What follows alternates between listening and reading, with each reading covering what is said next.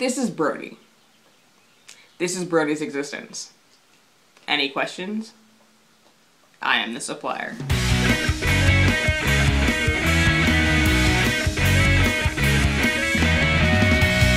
Ever since Brody and Nicole broke up, Brody's been pretty despondent. His apartment is trashed, and he sits on the street with his guitar, hoping to make enough change so that he can eat. Then Talia appears and tells him he has powers.